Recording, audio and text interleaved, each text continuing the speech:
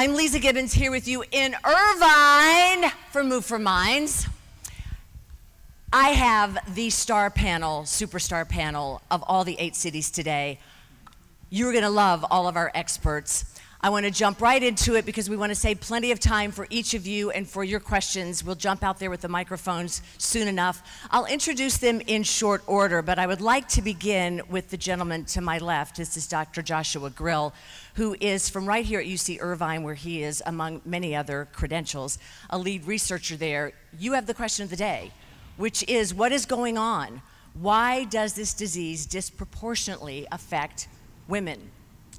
Okay, well, thank you, Leeza. I want to um, thanks the organizers for uh, letting me be a part of the event again. I was here last year, and it's nice to see that we're growing in our space and our attendance, so this is really exciting.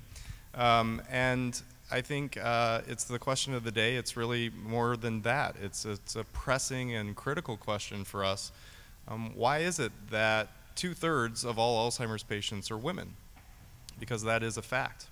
Um, first and foremost, the driver of the difference in the, the number of people with Alzheimer's disease being women is that women are much better, much, much better than men at living to the ages when Alzheimer's risk increases the most. So for every five years we live after the age of 65, our risk of getting Alzheimer's disease doubles.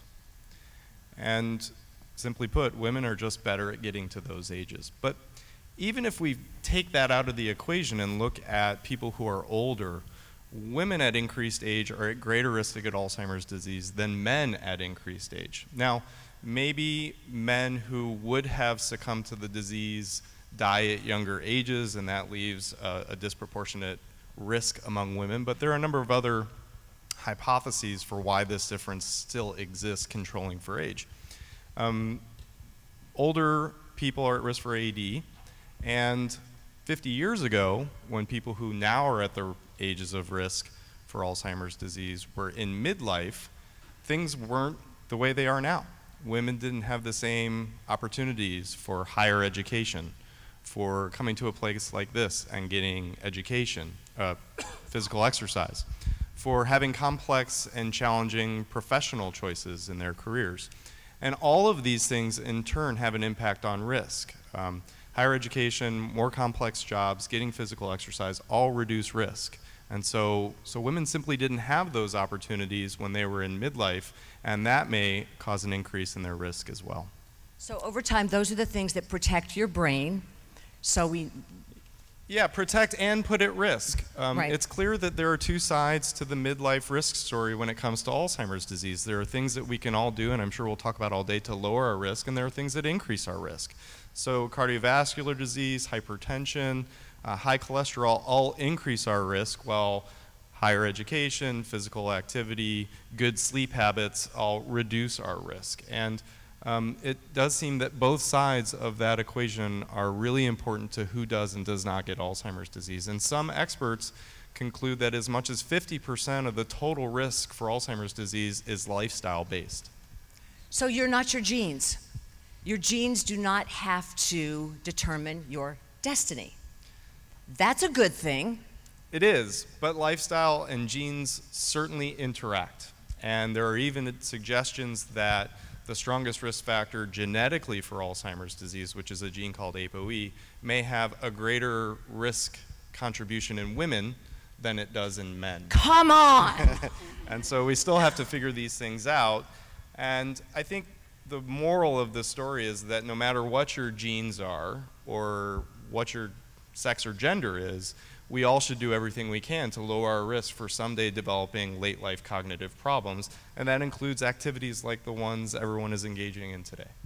Let me circle back for just a second. Let's say I have ApoE, you have it. It's going to hit me harder than you because I'm a woman? There are studies to suggest that is the case. Well, that just sucks. I mean, seriously. I totally agree. Um, but okay. you know, the good news is you're more likely to live to those ages than I am um, where it would matter. We love your spin, but we're not buying it, right? the good news is lifestyle. Okay, we hear that loud and clear. You're going to hear that from all of our panelists. And, and Mallika, let's just go down the road here. This is Mallika Chopra, yes, of the Chopra Chopras, as in Deepak. Uh, and so she grew up in a culture recognizing the value of meditation. And her latest book is about, it, it's called Intent, please tell me. Living with Intent. Living with Intent, but it's your messy journey, right? The subtitle is My Somewhat Messy Journey to Purpose, Peace, and Joy. So the messy is the critical part there. And um, first, I want to thank you for having me and being with this panel. And I think my message today, um, and I've, I've spent a lot of time with Maria Shriver on these panels and doing, you know, speaking on these panels. And my message, you have great scientists here who can talk about the research. My message is find time, set intents for small changes in your life, whatever you, age you are, to start addressing this. So Maria talks a lot about how the first signs of Alzheimer's actually can happen in middle age. And I found um, a few years ago, you know, I'm a mom, I have two kids, they're about 15 and 13 years old. I grew up in a family where I learned how to meditate, yoga, eat healthy. Um, I was the person who hadn't meditated for years because I didn't have time, didn't exercise, was stressed out, talking about meditation and balance, but even while I was in front of an audience thinking about my dry cleaning and my company and why did I have that chocolate chip cookie and double macchiato and you know just leading kind of this lifestyle that took over. Um, and so I made a recommitment to really look at what are the lifestyle habits um, that I needed to incorporate in my life to find more balance and happiness. So I'm a big proponent of meditation um, when my father started speaking about the mind body connection and things like meditation and yoga 30, 40 years ago, he was considered the East Asian witch doctor who sold snake oil. But now, every week, more research is coming out on the benefits of meditation, mindfulness, yoga practices, um, from very practical, um, you know, distinguished things um, in terms of increasing learning and memory, um, decreasing cortisol and other stress hormones, um, you know, which build up and uh, have effects on our body, uh, to the decrease in telomeres and you know our aging process. So whatever age you are, um, you know, you can begin a practice that um, doesn't have to be regular. I think that's my main message um, it should be regular. We all should be exercising every day, meditating every day, and making our best efforts. But sometimes we need to forgive ourselves if we can't, um, and then start again every day. Uh, so my message, and we can talk more about that, is you know what are the different aspects of balance from sleep, good nutrition, movement, um, but also thinking about in our life personal connections. Um, do we enjoy what we do every day?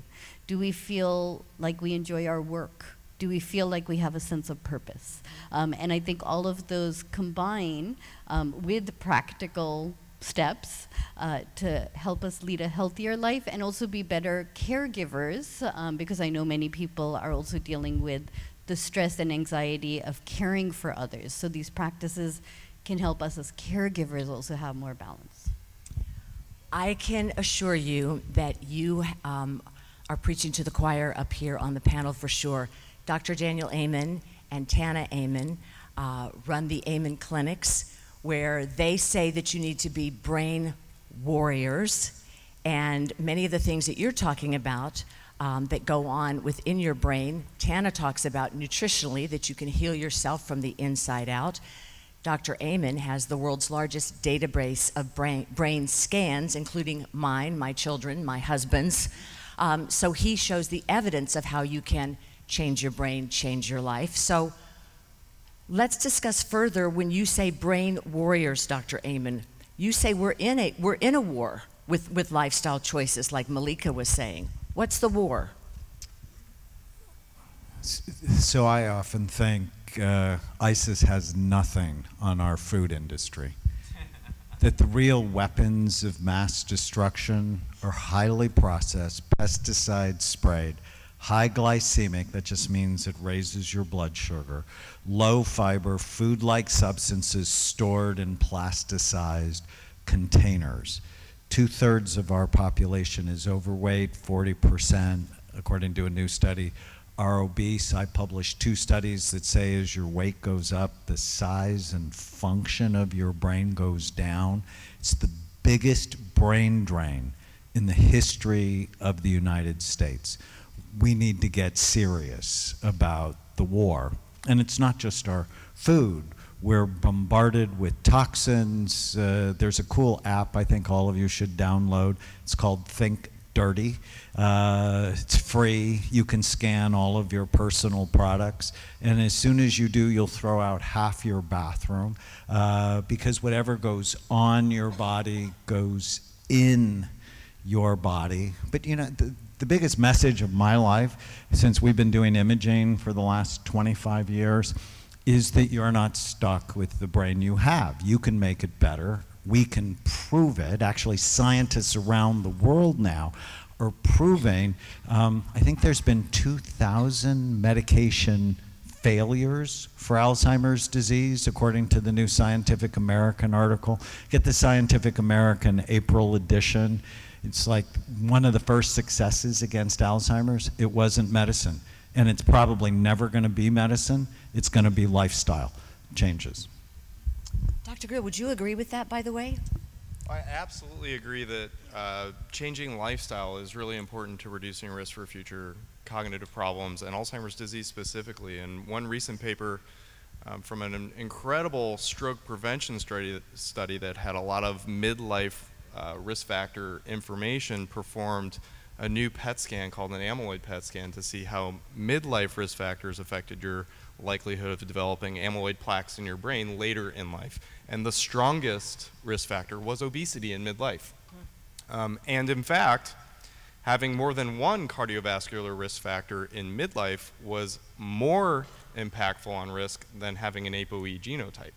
Wow.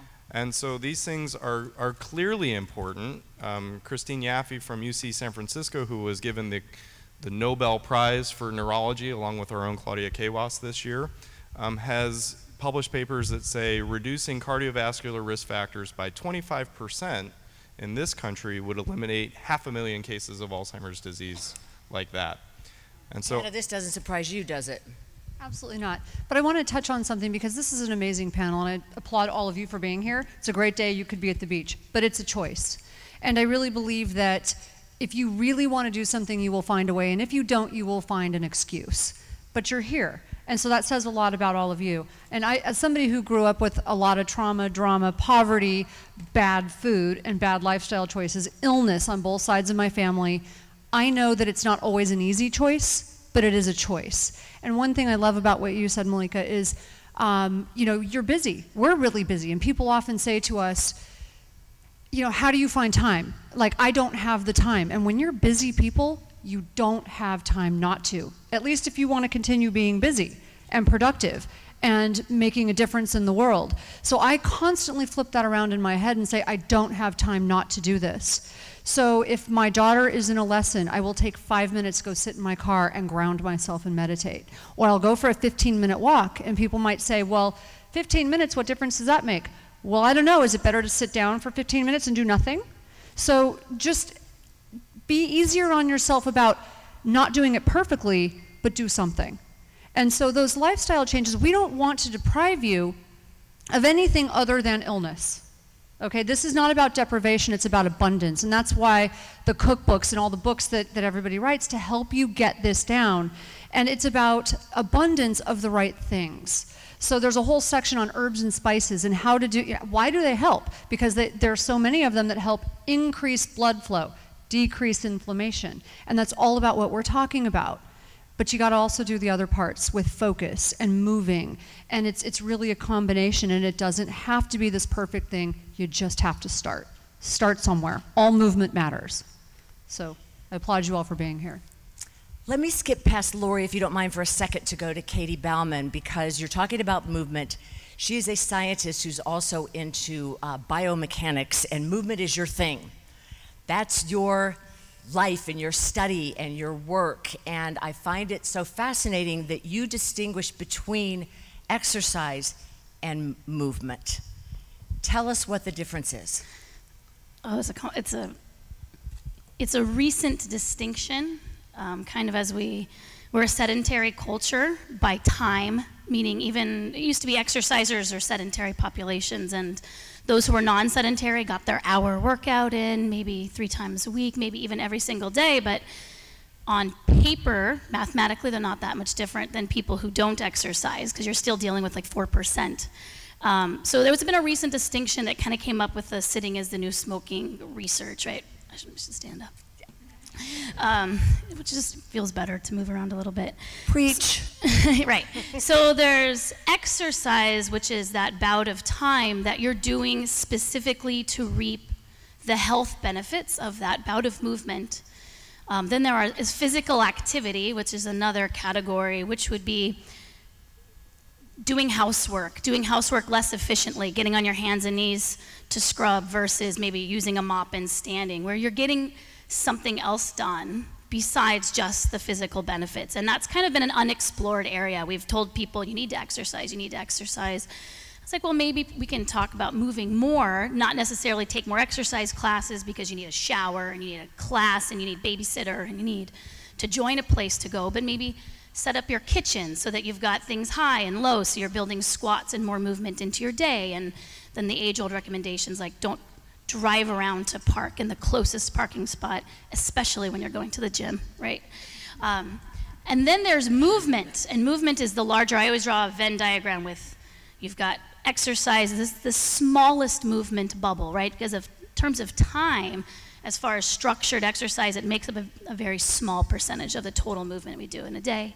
And that lives within a physical activity bubble, but both of those live within a movement bubble. And the movement bubble is any physical displacement, and your cells are what's being physically displaced when you move. But that goes for things like chewing. Chewing our food versus drinking smoothie, that's going to affect blood flow to the brain, for example. And we don't think of movement like chewing as something that would be part of this health or even brain health discussion because we've kind of hyper focused on cardio and strength training and flexibility. Those are our three main categories. But basically, what I do is kind of expand those definitions and fill in lots of examples of how we can get more non exercise movement, non physical activity movement, and then, of course, increase our physical activity as well. Tell this group about what you did with a, um, a, a, group of elderly women, I think it was, um, in terms of getting them to be because Katy says that it, um, your flexibility is not limited by aging, it's limited by your mobility, your habits, your habits. And you got incredible mobility from a group of uh, women in advanced age. Well, I'm a biomechanist, right, and I teach movement and work with large groups of people, but I think there's kind of a narrative that there's an inevitable decline as far as our movement capabilities go but that's not really a cross cultural understanding. That is one particular group of people that live almost entirely sedentary lives. And so we are seeing what we consider how older people move is more how um, a sedentary population ages out versus how people who've been moving throughout a lifetime age. And so um, you're talking about the women that were in dynamic aging. They all started with me in their 60s, late 60s, and 70s with all the same things that on paper many people have the recommendations for pelvic floor slings and ACL repairs and, and whatnot. And 10 years later, this was tracking their 10 year progress just of really slow, mindful first. Um, there's this idea of whole body sedentary, but because now we realize that movement is really creating um, epigenetic effects on the cellular level through a process of mechanotransduction, right, which is you move the cell, uh, the cytoskeleton, and then it changes the behavior of the cell. So that's why movement is an environmental factor, it's a lifestyle factor. So we started by identifying sedentary areas within their body, not assigning a whole body state as someone who is active or sedentary. And then once we could move those areas, then their whole body movement capabilities increased. And now they're 80 and 79 and 78, and they're hiking all the national parks barefoot and climbing trees, which is not really matching that narrative of what people are supposed to do as far as movement goes when they get older. another point for all of us that we Yeah. get to rewrite the rules. You get to change your life if you change your brain and change your whole biomechanics. Which takes me to you, Lori. Lori La Bey uh, is a real passionate advocate. She created a thing called Alzheimer's Speaks, and she has these um, care cafes and these real outlets for people who are diagnosed and their caregivers to have a voice because in case you guys haven't noticed um, a lot of people with alzheimer's disease are marginalized and don't have enough of a voice what's your big message My big message is shifting uh, caregiving from crisis to comfort. I think we all deserve that. Um, one of the things that I think we really have to um, take into account, though, is our verbiage that we use. So, even though I use the word caregiver, I would really encourage people to switch to care partner or care companion.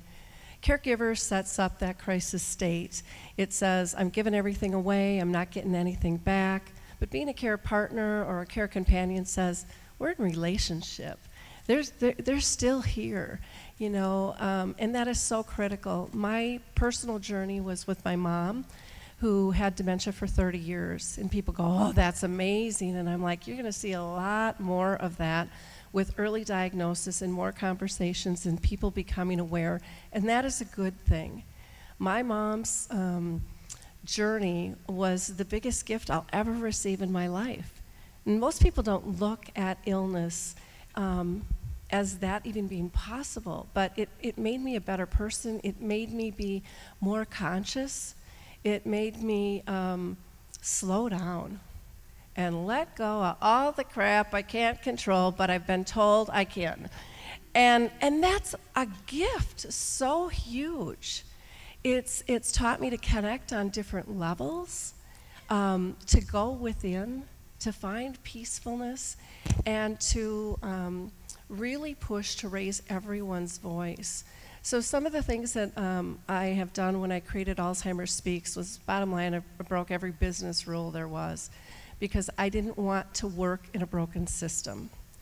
And so uh, I created Alzheimer's Speaks to raise everyone's voice. And I mean everyone's. That means the person with dementia. That means the family caring for them or, or a friend. That means business professionals, doctors. Means authors, movie directors. Everybody in this room has the power to improve our dementia care culture. Every single one of us. We can look at this as a crisis or we can look at it as a gift. And we, we have forgotten, I think, in society our, our power of one and the impact that we have um, on others. And so, um, through the radio show, through something called Dementia Chats, which is where I interview people a couple times a month um, and video it, and all this stuff is free on the website. Um, my experts have dementia. Who better to ask than somebody living with the disease? What do they want out of life? What are their perceptions of the disease? What, what do they want us to change? We need to have these conversations. They have wonderful insights, great hope, and they'll tell us our flaws in a respectful fashion. Um, we, we really have to work together. it's such important work that, that she's doing and you bring up uh, a world that dr grill focuses on as well you talk about in your research studies that people who are diagnosed with dementia, most of them are single, but in your clinical trials, most of those participants have a spouse. Does that directly correlate to what Lori was saying? I think it's all very much related. Uh, I personally believe that the only way we'll ever find a cure for Alzheimer's disease is through research. And clinical trials are the ways in which we test new medications, and they're inherently tied to our ability to find cures. And so I think of them as the, the last step in finding a cure. But they are extremely difficult to do, and one of the hardest things about doing them is to get enough people enrolled into a study to actually answer the scientific question. And as you say, in Alzheimer's disease clinical trials, two thirds of participants enroll with a spouse. But in the world of who has Alzheimer's disease, most patients don't have a spouse. 800,000 people with Alzheimer's disease in the United States live alone, which we could talk about for a number of reasons. But um, in my world, that's something we have to figure out and get better at getting those people into important clinical trials of promising therapies so that we can so that we can find new and better treatments And, uh, because yeah, a lot of that has to do with those care partners and supporting those care partners better. Questions out here in the audience. Where are they? What are they? Um, I don't want to monopolize the panelists, although I'm very happy to if you don't have questions. Tana, um, yes, while I'm getting back there. Tana, let me bottom line it for some of you guys as I'm heading back there. Coffee and wine, yes or no? Can we have it? Should we have it? Somebody give her a mic. Yes, you go back there. Well, I'm going back to my talk show days, running around. So, so what we see in our clinics um, by looking at thousand, actually over 100,000 brain scans is that overall coffee and wine, if you drink too much of it, is not good for your brain. Alcohol is not a health food. Um, a little bit of coffee, if you are not overdoing it, too much, too much caffeine will restrict and constrict the vessels to the, to the brain, so it decreases blood flow a little bit of coffee. The problem is people are drinking these big ventis and they're having them all day long. That's what's bad. So what we do, and I actually have recipes for this in the cookbook, we will have half caff coffee. We'll dilute it with some almond milk, do something like that. If you want a little bit of coffee, that's okay. A normal sized cup of coffee or two is fine. Um, as far as the alcohol goes, that's always a tricky one because this is where we get hate mail. Um, so you know, one venom at her earlier, saying, "What? But I've read these studies that said I Right. could have it." She goes, "Well, well, the wine industry paid for that study." Right. Robert Mondavi paid for one of those big studies. So, so alcohol is not a health food. It's like a bell curve. There are some studies. There are there are some benefits to drinking very small amounts of wine. Not so much for your brain. Um, and what does small amount mean? That's the problem. Is it's subjective, right? So if you have one or two glasses of wine, and, and actually it only showed wine, no other alcohol. So a little bit of wine, and I mean a little bit, is not so bad. But the problem is that bell curve, okay? People who drank too drank very much alcohol actually did very poorly. So that's where the problem is. People don't usually they take small amounts to mean what they want it to mean. And that's what we've seen is that that's what happens. So small amounts, you have a couple glasses a week, probably not going to do so much damage, but women who drank every day in one large scale study showed that they were at risk for 11 different types of cancer. So you don't want to do anything that's going to increase your risk of cancer. Um, and that's really one of the big problems. But no, it's not good for your brain. It's not a health food. Um, I have a question. I don't sleep well, and it's something I've struggled with forever. And um, I've taken sleeping pills, which really don't help. Um, and I read everything bad. Are there any real proven methods? Because it has to be something with my brain. I have to train my brain to sleep. I realize that. Um, but are there any really proven, like hardcore brain training for sleep? Um, th- th- there are. And cognitive behavior therapy, which is learning how to manage your mind, is one of the things that can be helpful. Melatonin has between A and B level scientific evidence to help with sleep. I, th- I think, you know, as I think about it with my patients, and sleep, sleep apnea, chronic insomnia are a risk factor uh, for memory problems. And so I always think with my patients, what are the things you're doing that hurt your sleep, whether it's caffeine, exercising late, uh, a light room, a noisy room, a hot room, um, negative thinking patterns that are keeping you up. So, what are the things to avoid, and then what are the things to engage in? So my friends from the Kirtan Kriya meditation are here. I actually published three studies showing that Kirtan Kriya, specific form of meditation, boosts blood flow, boosts memory, but it also helped to sort of calm down the busy mind, which is one of the reasons why people don't sleep. A little cocktail I really like. So I I like melatonin for people who have trouble getting to sleep. I like 5-HTP if you're a worrier and your thought you have a little mouse in your head and the mouse is on the exercise wheel and the mouse can't get off 5-HTP helps and I add generally magnesium to them I think that cocktail works really well for my wife Um, and you have to be very careful with alcohol. I mean, we could talk about alcohol all day long because there you know, some studies that show it helps, some studies. And I'm like, look, anything that increases your risk of cancer, and that's not new, that's been around for a long time, I'm not a fan of it. Um, alcohol, a lot of people use it to sleep. The problem is, yes, it'll put your, it'll quiet down your neurons, and then three hours later they'll rebound. And so you end up waking up in, in the middle of the night. So ask yourself, am I doing anything that hurts it? What are the things I can do to help it? In chapter four in our book, The Brain Warrior's Way, the training chapter, there's a whole section on, you know, here are 20 things typically that hurt people's sleep. Here are 20 things I can do to help it. And I would just advocate again the benefits of meditation. One of the things that I always hear from people um, is that you know they just can't sit and meditate, um, and you know it just seems too demanding. But I do believe that if you find five, ten, fifteen minutes, start with five minutes once a day to just kind of give your mind a rest remember that the benefits of meditation are not in the 5, 10, 15 minutes that you're sitting. The benefits are going to be realized um, in trying to sleep better or in trying to find more balance as well. If I could just add to that, because I'm, I'm a person who has trouble sleeping because of medication that I have to take for the rest of my life. It's not something that's going to go away. So I do everything that we talked about. So I have a thyroid, um, I had thy- thyroid cancer several times, and so I take high doses of thyroid and then a couple of other things, right? So, um, so I have to, so I, the magnesium and the melatonin really help.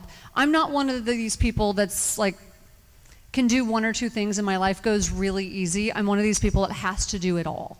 Um, so the meditation works really well. When I first started trying to meditate, I just could not. It was just monkey mind everywhere.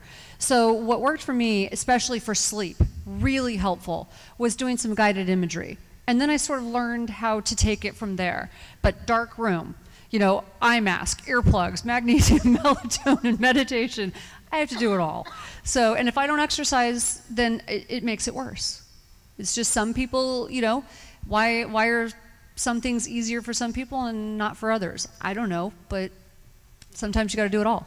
Uh, I would only add that, um, you know, we, our society has changed so much, right? So sleep really went down when the light bulb was invented. And I bet if we plotted the history of sleep, it's going down again now because of devices.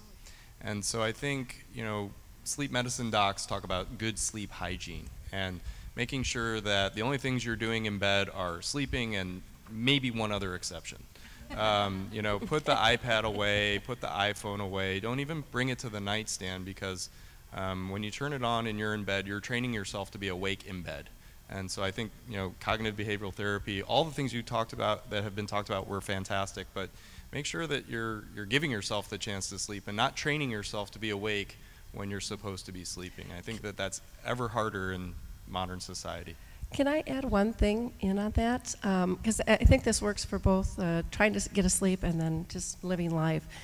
Um, I have found that basically we remember three things in life what causes us fear, what causes us tears, and what, causes, uh, what brings us joy. And the, the fears are usually projecting into the future, and with Alzheimer's, that can be a really scary, scary thing. What causes us tears is what we think we've lost instead of being grateful for what we had. And the joy is in this moment. This is the only moment you can identify it, it's the only moment you can create it. And so we have to decide what lane do we want to live our lives in. And not that we're not going to go to the fear and the tear at times, but how much time are you going to spend there? And I think if you go to sleep with joy, it's just going to be much easier because when our mind is spinning with fear and tears, I don't know about you, but I don't sleep. That's a real great gift of the disease, isn't it? Keeping you learning to be present. Your question? I thank you all for giving us your brilliant uh, answers here, but I had read that um, thyroxine or the thyroid problems have a lot to do with sleep, and a lot of women are hypothyroid, especially as we age. Could you talk a little bit more about whether we need more thyroxine while we're trying to get to sleep? Well, I think there's so many different thyroid disorders. So you can be hypothyroid, hyperthyroid, thyroid cancer. I mean, it really depends on what the issue is. We are seeing an increase in thyroid disease. Um, it seems that more and more women are hypothyroid. Um, if you've had your thyroid removed and you're being treated and you're on the right dose of thyroid, you know, you're usually feeling fairly balanced. If you're someone who, like me, who's had thyroid cancer that for whatever reason metastasized and continues to linger and they want to keep you on high dose thyroid to suppress the cancer, there's a problem. So if your thyroid's high, you're going to feel this wired, tired feeling all the time. If your, thyroid, if your thyroid's low, you're going to feel very tired. So I often have people write and they'll say, um, you know, I don't want to take thyroid medication. How can I treat it naturally? And I'm like, please go to your doctor, okay? Because that's one thing I don't think women, I don't think anybody should really be um, messing with. And I think that there are things you can do naturally. I think you can do certain things with your diet to help optimize your thyroid. But if it's not correcting, I really do believe you should get it optimized, not normalized, optimized. So we are seeing this increase, and they, a lot of it is, um, we believe, environmental toxins. So that is a problem. So I think everyone should go get it checked. You should educate yourself. We actually have a big section in our book on thyroid and environmental toxins and what you can do. But if it's not, you should be definitely going and getting it treated to get it optimized. But some of us can't optimize it, and so you have to do the other things. So that, that's actually a really important point we often talk about know your important numbers, that they're just some health numbers you should know at least on a yearly basis, like your blood pressure and your BMI. But we also think it's your thyroid and your vitamin D level, your level of testosterone, uh, even for women, because when they're not right, and Peter Drucker said this about business, you can't change what you don't measure. And so measuring your important numbers on a regular basis puts you in charge of your health rather than, you know, you go to the doctor whenever you're sick and then really nobody's in charge of your health. So there are certain foods that are called goitrogens. If you are prone to having say hypothyroidism or thyroid problems, you might want to learn what those foods are, but you really should be working with an expert on thyroid for that. And that's where I, I really I really encourage you to see a medical doctor for that because it's so important for your brain, for your energy, for your sleep. And when we're talking about brain function, thyroid plays a huge role. So, you know, sometimes medication gets a really bad rap and we're not, you know, we're not, medication's not good or bad, it's a thing. It needs to be used properly. I recently read about uh, coconut oil, and there was a study that was done around the world where people were trying to find out where, which population has the least Alzheimer. And if I, if I remember well, it was in the Philippines, and that's because they eat a lot of coconut and coconut oil.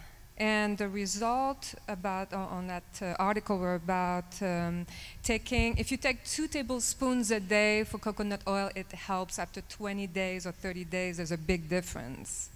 So what do you think about that, coconut oil? Want to hear everybody on this one. Um, can you start? Sure. so, every place around the world where people live to be older ages is dealing with Alzheimer's disease as a problem.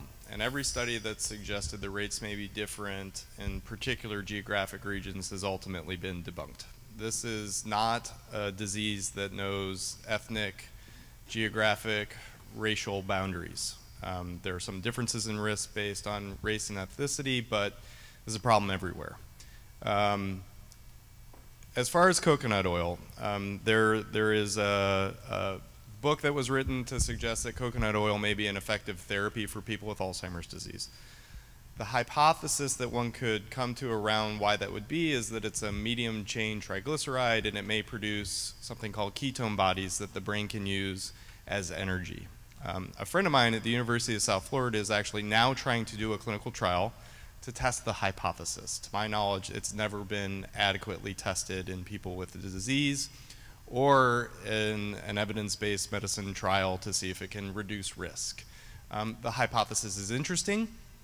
Ketone bodies absolutely can uh, be used by the brain as a source of energy. There's also a medical food um, called Axona that's been granted marketing permission as a medical food, not a drug, in the United States with the essentially the same hypothesis. Um, they're doing clinical trials now. There are some small trials of that to suggest there may be a minor symptomatic benefit. So um, hopefully it works, but in my opinion, the evidence is not quite there yet. Um, but it also has very low risk, which is a good thing. What do you guys think? I was going to, what I've read is very similar to this. It's, I've never read the, the research that shows it, but I know about Axona, and, um, and it's because of the medium chain triglycerides. So, and coconut oil is cheaper, so. Are we missing a mic? I think what's going around. Are we missing one mic? We've just been passing it. Yeah, it's fine. Yeah, we're just passing it.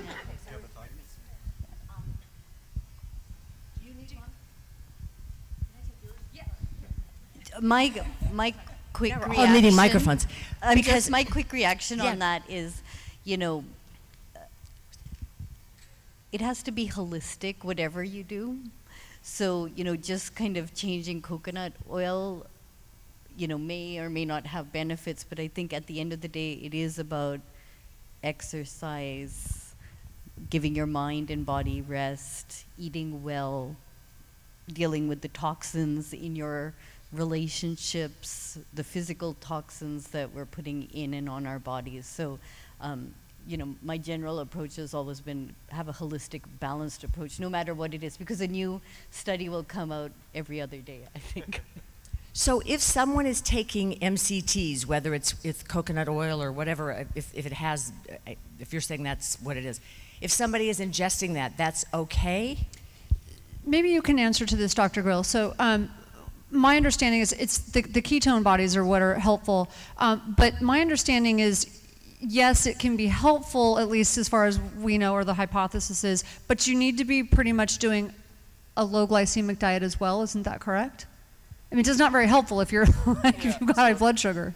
So I'm not a physician, so uh, uh, take everything on this with a grain of salt, I guess. But um, you know, the other the other opportunity to increase ketone bodies is by altering the diet substantially, and that may Right. have negative health implications as well, because it, it really is, you know, ketosis is is not something that our body was designed to stay in for very long periods of time, and and I'm sure there are studies around what it does to the liver and kidneys that I'm I'm not acutely aware of of the results of those studies. So I would I would defer to the physician, but um, you know the the the story that's told, and again I I don't think I don't know that there is or is not evidence to support this, but the story is that's told is that coconut oil and this medical food Axona can produce medium chain triglycerides without changing the diet, which Mhm. is one of the benefits, and so that the brain would have access to these things without potentially the negative uh, implications or the need to drastically alter one's diet. But I think this is all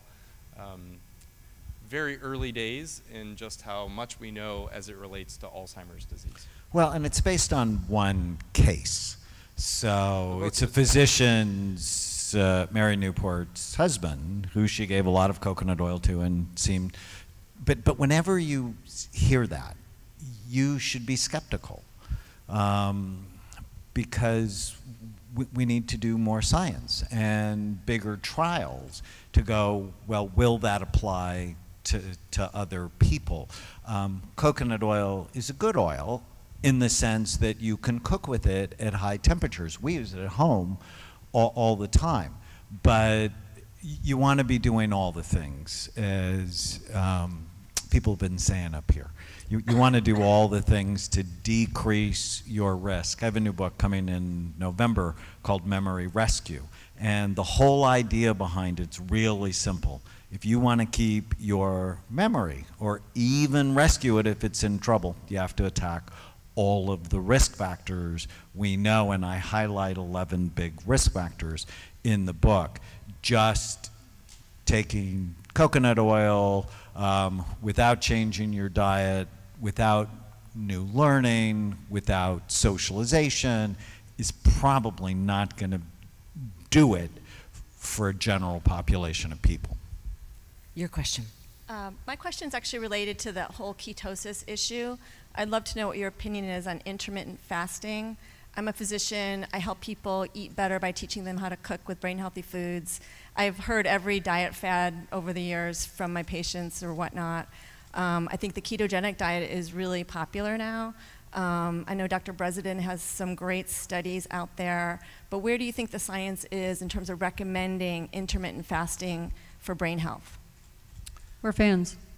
Yeah, so I'm a huge fan because if if you believe, and this is, you know, a fascinating question for Dr. Grill, if you believe that beta amyloid plaques are the cause of Alzheimer's disease, and that's actually sort of a big food fight in the scientific literature now because the meds that are cleaning up beta amyloid are not working in large scale studies. But the longer you can go between meals, there's a process called autophagy, which is your body begins to clean up those plaques. And so there are people recommending going 12 hours, which is actually not hard. If you eat dinner at 7 o'clock at night, don't eat breakfast till 7 in the morning. Well, that's not hard. Um, other people go, well, you really should go 16 hours. And people are finding significant benefit. Um, Josh mentioned uh, the ketogenic diet, and then you brought it up. I'm a huge fan because I, it decreases seizure frequency in children with seizure disorders by 50%. And there's 70 studies on it. And I have a granddaughter, we have a granddaughter, who was born with a genetic microdeletion syndrome, and at five months, it showed itself wicked seizures. And one day, she had 160 of them and the neurologist wanted to put her on a cocktail of medication that would basically wipe out her immune system. And i'm like raising my hand. It's like well let's do the ketogenic diet. And i ended up having to fire him because he didn't know about it. And at the university of oregon they have a ketogenic clinic and basically for the last five years she's not had any seizures They didn't think she was going to live until she was three. There was a good chance that she wouldn't walk without a walker till she was five. We have a picture of her walking herself into preschool at three. And, and there, there are a lot of people that have done the ketogenic diet for a long time. Now, generally, I'm not a huge fan because you miss out on most of the plant medicines. And, you know, the reason to eat vegetables is they're medicines in them. But for um, certain kinds of brain cancer, they're finding it helpful. Clearly, for seizure disorders, they're finding it helpful. Um, I, I think it's something we should be paying attention to. So in general, we, we tend to like a modified version of it with a lot of plants. so a lot of herbs, plants, spices, things like that. Um, not strictly ketogenic, except for like w- what he was saying. There are cases. So We're back here. Your question. Okay. Well, we talk about physical exercise. I wanted to know how true is doing mind exercise, such as playing chess, doing puzzles. Uh, Does that really prevent uh, Alzheimer's, or does it really help with your returning your memory?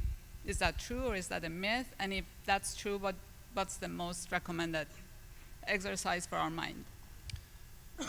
Well, the strongest evidence to support it is, is mostly large cohort studies or epidemiologic studies. There aren't a lot of randomized trials. There's, there was one that was reported last year at a national, international conference to say that um, speci- one specific type of training might be better than memory training um, for reducing risk for dementia. But it's, it's really the, the epidemiol- epidemiologic literature. In my personal opinion, uh, the physical exercise has a lot more power behind it as a risk reducing strategy than the cognitive. We recommend both. And, and again, I think I'm echoing everything you've heard so far. We, we recommend doing as many things as possible to lower risk.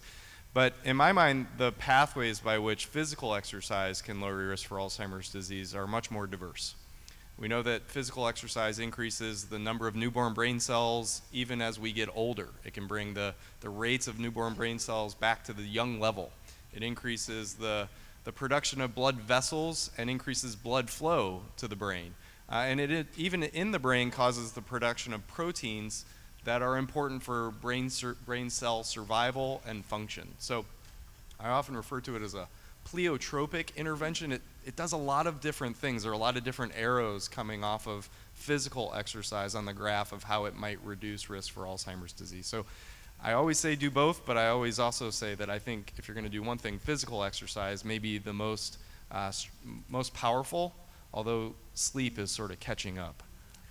Um, so when you say, go ahead, Lori. I, one thing I wanted to add is um, I, I think we don't talk enough about our social interactions. And, you know, we're into the games, we're into the pills and, and the exercise, but those social interactions, I think, are so vital the memory cafes, the, the, the, just having the conversations, um, keeping your connections. And we don't really talk a lot about emotional toxins or stress and the effect that that has on our bodies and, and how we interact with one another. And um, I think that the meditations, the exercise, everything everyone is talking about, I, I think is really powerful, but we have to remember who we are um, as a community and, and be in relationship because isolation is such a huge factor with this disease. And, you know, um, being connected is another way of keeping our minds active. It's actually a new study out of Baltimore that showed people who volunteer um, had significant improvements in their memory scores. So isolation is a risk factor uh, for Alzheimer's disease. So being connected at church, in your community, however you can get connected to other people um, in a positive way. That was a really beautiful study, wasn't it? The volunteer it study. was. Yeah. It was really very. Purpose is important. Purpose is important. I want to hit two things, um, and while I'm looking for more questions back here, um, Katy, when we're talking about movement that we could put into our daily lives, um, yes, the parking further away and all the rest, but are you talking about range of motion kinds of things that we should be doing that can that can have us get us into what you call dynamic aging? And then I want to get Mallika to get us into some tips, some um, instructive meditative tips that we can take home too. Are there things that we can take away with us today in your field that I'm leaving on the table here?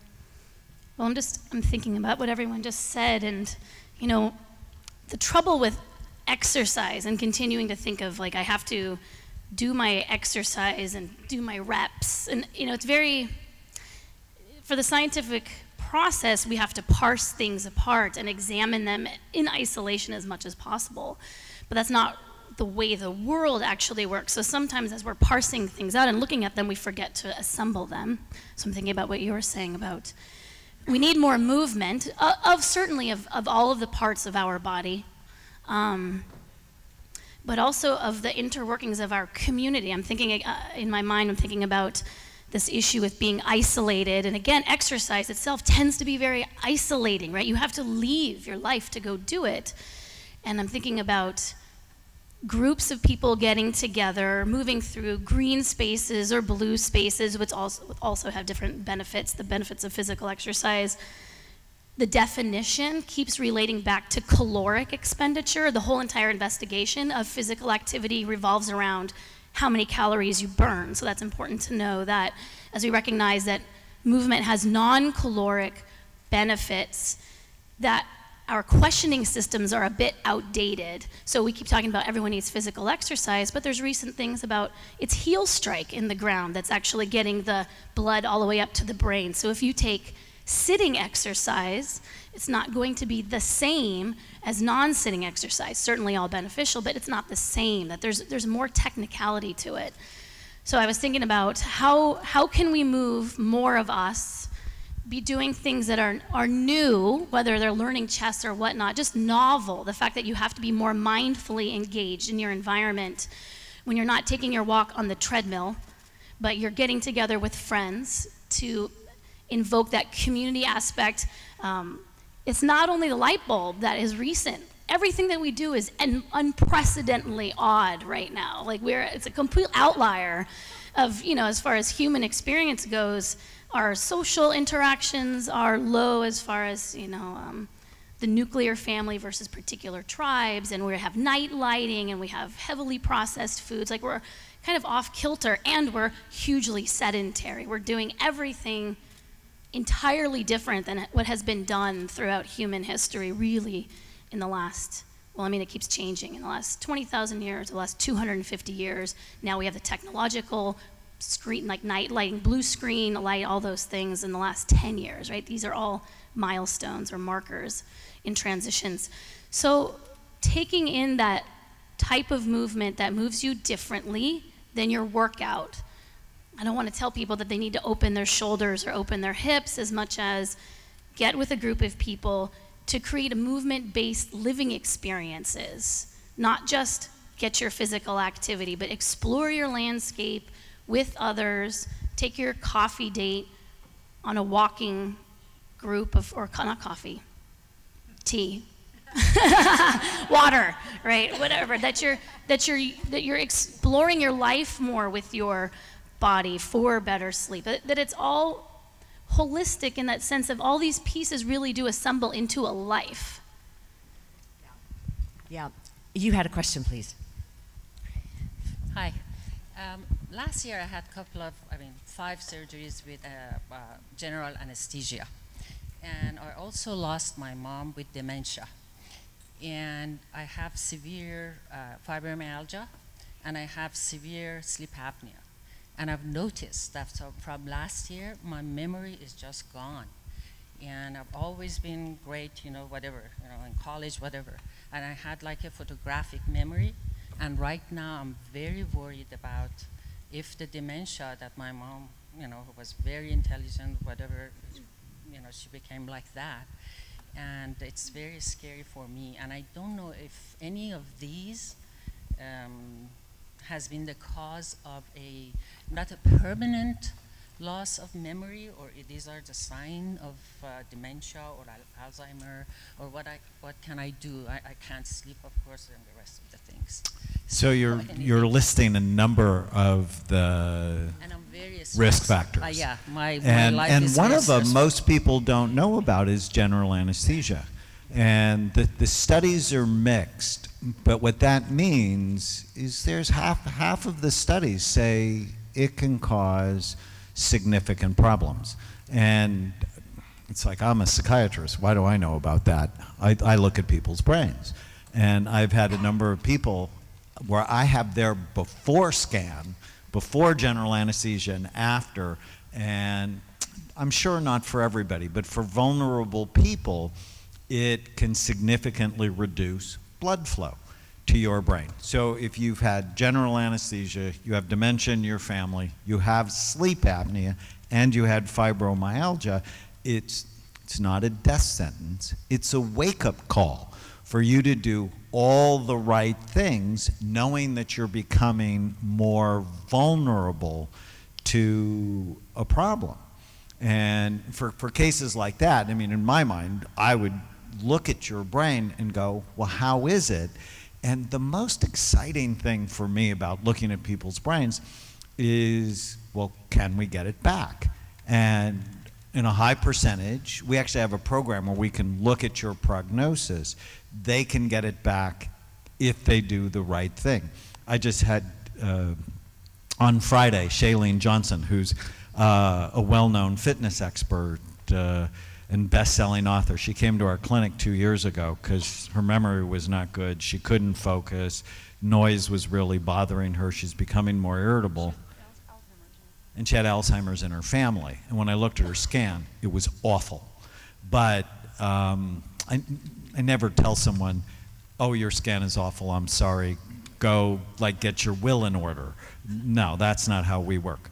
And I said, but here are the things to do and she did all of them, including a treatment I really like called hyperbaric oxygen therapy. I just scanned her on Friday. It was the two years, almost to the day, and her brain was remarkably better, as was her tested memory and her subjective symptoms. There's so much hope that, you know, you have these risk factors. You want to go, okay, what are all the things I can do that all of us have been talking about that can make a significant difference in your life? A couple of people had these. Are we, are we okay, Erin? She's going to call quits on us in a second. Yes. Uh, thank you. I know all of us here probably have someone who has been affected with Alzheimer's, and so we're concerned for, for them. What can we do today to get a baseline? I know that just recently in the register here there was some new test, but what, what can we do to make sure that some of these tests or things so that we know where we are at some point and then we can evaluate if we're getting worse? Thank you. You mean your brain get a baseline for you and your brain? Is that what you mean? A brain or the Or any you're worried amyloids, uh, you know, anything that you're worried about that could cause that. My dad passed away. He was, you know, when he stopped doing physical exercise, um, I think, you know, we didn't notice it at the time, but that was an indicator. And so obviously now we know a lot more. But is there things that we can do in any of the areas that would give us that baseline to test two years from now or three years from now? Thank you. Well, I think if you're really worried about your memory, then you want to make sure that you're seeing a clinician who understands the aging brain, the diseased brain, et cetera. And that's generally going to be someone like a neurologist, a psychiatrist, a geriatric psychiatrist, a geriatrician. There are some primary care physicians who are wonderful at thinking about these issues, but not all necessarily. Um, after that, you know, I, I'm sure every panel member will have their own ideas. Mine is if you're worried about your brain and you want to do something, one thing you can do is participate in research. And unless more people participate in research, we're not going to find a cure for this disease. And there are a number of studies. You're fortunate to live in a place with a lot going on, a lot of expert clinicians who are available. Um, you know, our institute is an National Institutes of Health funded Alzheimer's Disease Research Center. We have a lot of clinical trials. We have longitudinal studies. There are a, a multitude of different types of studies that are happening here and other places that all need more people to participate. And I, I just can't say it enough or loud enough that if more people don't participate in studies, at best we're going to be delayed in finding a cure. And if more people participate sooner, we're going to expedite the process. Well, so I mean, I'll, I'll again, I'm sure every panel member will have their own ideas. Um, we've created a new tool called uh, Registry, where people can log in, sign up, tell us about themselves, so that um, we can use it as a dating service. Um, we can find the right study for the right person, and that is called the Consent to Contact, or C2C, and that's at c2c.uci.edu. There's lots of hands out. Anybody else want to weigh in on that really quick? So the brain is like the only organ we don't screen, which is crazy, right? I was telling you when I turned 50, my doctor wanted me to have a colonoscopy. I asked him why he didn't want to look at my brain. Wasn't the other end just as important? And I think if you have dementia in your family, that you should get a functional imaging study when you're 50, because we, we know that they show evidence of trouble long before you actually have symptoms when interventions are more likely to matter to, to be effective. You know typically when people get scanned they're in the moderate to severe stages of the illness when a lot less can be done about it. Uh, I think we need to get to the point where we're doing population screening using cognitive testing to go compared to a general population, where are you at? On our website, we actually have a really cool website called My Brain Fit Life. On you can test your brain, and then based on how you score, we'll give you suggestions for cognitive exercises. All of Tana's recipes are on that site. We have coaches. I'm one of the coaches on the site. Um, so on My Brain Fit Life, we have a, test called WebNeuro, and it measures 17 areas of cognitive functioning, and two, including two memory tests. Okay, I'm going to try to get these questions. If you're looking, I know um, you can contact, I think you have probably, and if you don't, um, we will tell you right before we wrap up how to get in touch with all of us so you can find out more about all these great resources, find out about um, research studies. Um, if you're looking for clinical trials too, there's an advocacy group that I participate in called A-List 1000. They'll take you through Am I Right for trials? They'll help you go through a decision tree. Um, and then they'll um, help you find which ones are near you. Um, this is all a nonprofit um, uh, kind of yes or no sort of process. So lots of ways to, to kind of break that down. Your question. uh, quick question. One of the things I've heard people say frequently is, well, I'd like to get my brain tested in, in all the ways that, that you're talking about and audience members are talking about, but I don't do it because I'm afraid that once there is a diagnosis written down by a physician, I become ineligible for a lot of things and also am, am no longer able to be treated seriously for things about wills and other things. Is there merit to that? I, I'm seeing a lot of shaking heads. And if so, how do you get around it, short of having a friend who will unofficially do a diagnosis but not put it into your records?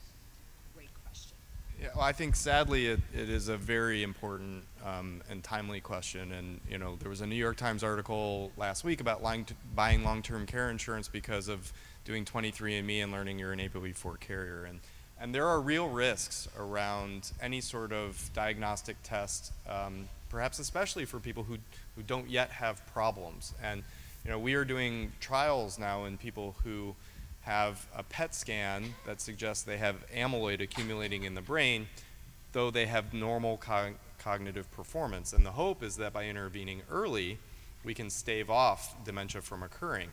We had to do tremendous work and, and thought had to go into those studies to protect the people who would enroll. And for example, we had to make sure that the medical record at the academic and other institutions that were doing the studies didn't link to the PET scan results because we didn't want people to be denied for long-term care insurance or to have their health insurance affected in a way. We didn't want their clinicians to look at them differently if they went into the medical record and saw that they were eligible to be in this study. Um, and I'm worried that we didn't go far enough. And we're working very hard now on additional studies to try to protect people who, who meet these criteria that suggest they're at increased risk to someday get problems. I, I think I agree totally with what Dr. Amen said. We need to get to a place where we're scanning or doing a blood test or a cognitive screener on everybody at some age, 50, 60, whatever it is. Um, but there are a lot of things that have to happen in order to get us there so that we're doing it in a responsible and safe way and that people aren't suffering. And we're going to redefine Alzheimer's disease. It, it's inevitable. Um, but we have to do it responsibly from a societal way. So in the meantime, pay for it and keep it out of your medical record. That's what I tell my patients. If I order an Apo E4, you know, uh, no one can get my medical record unless you give them permission to get my medical record. Don't Which means don't have your insurance paid for. For now, tragically, I mean, and I know a lot of us deal in this area. Um, unfortunately, the way the world works now, there are lots of reasons for a person who has the diagnosis to be discriminated against um, socially, financially. I mean, there are lots of ways to take hits. Right to die, lots of reasons. And so it is probably, I mean, I'm speaking as a layperson, 100% layperson. I'm not giving you any kind of advice other than girlfriend to girlfriend. Um, you are probably best off not doing that or um, before getting an actual diagnosis, getting a lot of things in order, um, just so that you retain a lot of your rights and a lot of your um, flexibility. That's just that, because we've got to get to a place where we have, this is why we're funding this research, because um, we know that the, where, the, where the money goes, we're going to ultimately end up getting some kinds of treatments, remedies, ultimately we hope cures, but we've got to be living with this diagnosis. Uh, we can't be labeled with it, labeled by it. We have to live with it. And when we can live with it, then it will be like, great, I have Alzheimer's and I have a job and I have kids and I have a right to all the other things that anyone else is doing. But right now, we're not even close to that. We're not. If I, if I could add just one thing, uh, medicine and perhaps my field especially has a history of being slightly paternalistic about these things. And, and I'm not in that same vein. However, you could also ask yourself one potentially important question, which is, what would I do differently based on the results of this? And if you think about it, everything you've heard today can be done regardless of what the results of that test, whatever test it would be, turned out. Um, I'm not saying you shouldn't do it. I, I think it, we live in an age where people can make these decisions for themselves. I, I highly advise talking to clinicians and other experts when you approach those decisions. But the reality is, we all should be doing everything we can, regardless of our genotype, maybe even regardless of our scan results. Scans change over time. And so even if your scan is clean, whatever scan it ends up being, it may not be one, five, or 10 years from now. So all the things you heard today are all things you should do regardless. If you have a brain, you're at risk. If it's in your family, it doesn't mean it's you. If it's not in your family, it doesn't mean you have a free ride. We all should be taking the precautions every day. You're right. You're 100%. Look at all these hands. Oh my goodness. Wow. Who didn't get You got one. You didn't get one. Sorry. That's my training, right? I'm glad you brought us back to um, what if you have it now? And, it, and this is kind of major, and it brings us back to Lori's site. I bumped into her site one day and got onto dementia chats, which are people who have Alzheimer's. I watched 11 hours straight of that because I was so shocked at these people were absolutely alive, living it with every day, talking about things that they need. I, it was so unbelievably refreshing. So when you get the diagnosis, it's not that you go into this immediate depression. They became active. And they are very active in, in talking and discussing and working with Congress people. It, it, it was, it takes also the fear away. And fear is really one of the things for, for any type of disease. The minute you have a fear and the minute you start living that or thinking that or afraid of it, it becomes you. I mean, you you feed on it. Your body feeds on it, and it's that's not healthy either. So um, I found that to be rather interesting. How cool for you, Lori. That's so great that that you have that platform and that that's the work that you do. And look what's happening. Well, it is uh, very exciting, and again, with my journey with my mom of 30 years, um, she taught me so many lessons. Um, like everybody in our life, there are lessons to be learned if we're open to learning them. And that's why I think it's so important to stay socially active. Look into the memory cafes. We're actually doing a cruise this November for people with early memory loss in their families. And we're going to have a symposium. But it's all about creating moments moments of joy. You're not going to find what you don't look for. And um, another, I guess, tip I'd like to add is that, um, you know, I used to be the, um, the queen of checklists in caring for my mom, which probably many of you are. And we we feel empowered when we check off our list. Um, it makes us feel good because we're out of control. But I found that I had to switch from um, my, my list of to dos to three simple things to really improve my interaction and my peacefulness within. And that was before every interaction, if it was on the phone, if it was in person, whatever, I had to ask myself is she safe? Is she happy? And is she pain free? That's what I need to focus on. And when I focused on that, it changed everything in terms of how I do my tasks. Some I found I didn't need to do. Some I found I, I could actually let somebody else do it or ask for help. Um, but it allowed me to be a daughter again. And so I'm just going to give a plug in the very back um, down at the Alzheimer's uh, Research and Prevention Foundation, I did put some brochures. So if you're dealing with somebody with dementia, there's a whole bunch of tips of just really simple, simple things to do um, to empower the person with dementia and yourself and embrace um, and live life gracefully, like you were saying, Leeza. Mallika, I, I just want to, um, you guys can stay after and, and ask questions, but I would like for us to um, offer you a moment to offer us some uh, practical tips on how to demystify, I think, one of the through lines of today, which is um, we can all take advantage of meditation. Uh, it's something that's out there for us, and yet I think that we're a little bit um, ambiguous about how do I get it and what do I do. So can can you sure, and we'll do help it. us so out? In the, in the typical, we don't have enough time um, let's take a moment to actually give ourselves time. So I'm just going to give you a really simple exercise, um, and we'll do it together now, and um, then we can move on. So it's to stop. And I loved your words about slowing down, stopping, and just appreciating the moment. So, stop is S T O P. And we'll do it together. I'll first tell you what we're going to do. We're just going to stop, and you can do this anytime, any place. In fact, it's a great exercise to do when you find that you're getting reactive to a situation and getting stressed out.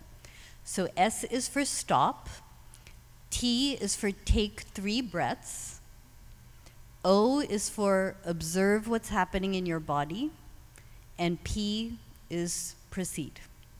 So, if you're willing to do it right now, um, just sit comfortably. I recommend you close your eyes, but you don't have to close your eyes. So, if you're comfortable closing your eyes, go ahead. And just again, the process. We've stopped. Now take three breaths. Breathe in and out. In and out.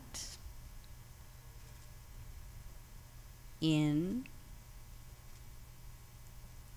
and out. And now continue breathing, but let's just take a moment and observe how you are feeling. It may be physical after this morning of great exercise. It may be mental, a lot of intellectual stimulation. It may be emotional. So just take a moment and observe how you are feeling.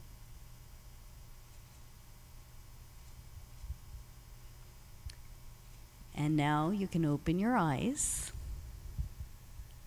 and proceed. So simple.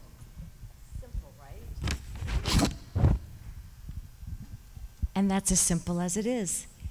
And do you feel slightly calmer and slightly more centered and grateful? That's how I feel. Very, very grateful. Grateful to Maria, grateful that we have this women's Alzheimer's movement, grateful to these brilliant, compassionate, caring, and um, very insightful panelists, who I told you we had the rock star panelists for today. So um, I'm going to be mindful of everybody's time as we thank you and thank them so much for today. This has been fantastic. Thank you so much.